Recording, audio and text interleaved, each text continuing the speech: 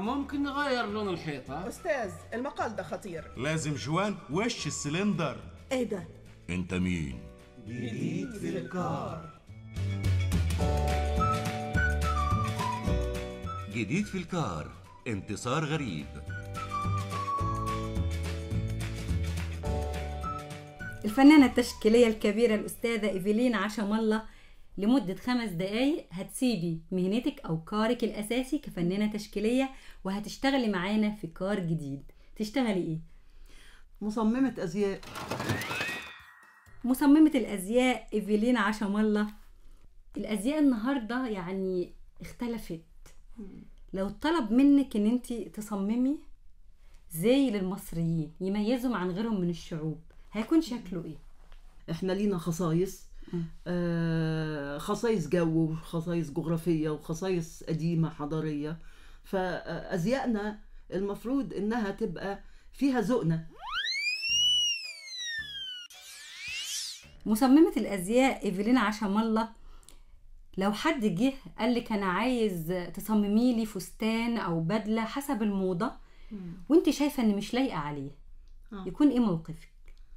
م- يعني هي المسألة مش إنه مش مش مش لايقة ما هو ما هو طالما جاي عشان يصمم حاجة تخصه يعني فبالمناقشة نقدر نقنع بعض يعني. أقدر أقتنع أقنعه إن ده مش مش هيبقى حلو عليه. مصممة الأزياء إيفلين عشم الله إيه رأيك في التقاليع اللي طالعة؟ يعني البناطيل المقطعة دي أصلا يعني زي الفقراء اللي يعني العامل الفقير اللي كان في المنجم بيقعد عليه البنطلون لحد ما يتقطع. وبقى موضة. أنت كمصممة أزياء غاوية الجمال. بيبقى إيه إحساسك وأنت شايفة التقاليع دي؟ أنا ما ما ما بحترمش قوي ال- التقليع دي. لأنه لأنه الفقير ما يفضل المفروض إنه ما يبقاش عليه البنطلون لغاية ما يتقطع. كده. إنما ما هوش إشارة للفقراء بدليل إنه البنطلون بيبقى آه، سينيه يعني.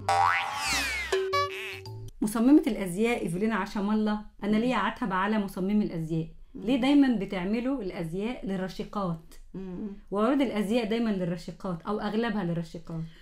أنا بقى عروضي هتبقى لعامة الشعب. ما هياش آه، للرشيقات فقط آه، أنا أنا مع آه، تصميم أزياء لعامة ال- ال- البشر بكل اللي فيهم تخين ورفيع وطويل وقصير وكده يعني مصممة الأزياء إيفلين عشم الله الألوان اللي بتحبي دايما تحطيها في أزيائك إيه هي؟ ألوان الشمس بتاعتنا. الشمس والغيطان الخضراء. والنيل الأزرق والسماء آه يعني يعني هي دي الألوان الواضحة خالص اللي اللي, اللي ما هياش ألوان معتمة.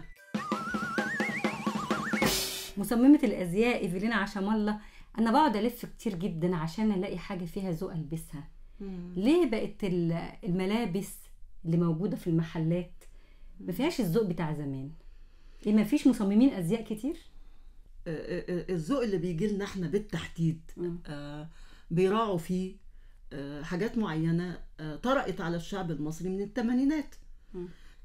إحنا في العموم آه، البلد ما فيهاش ذوق عام كبير قوي لا في النظافة ولا في المباني ولا فده هيبقى جاي على الأزياء.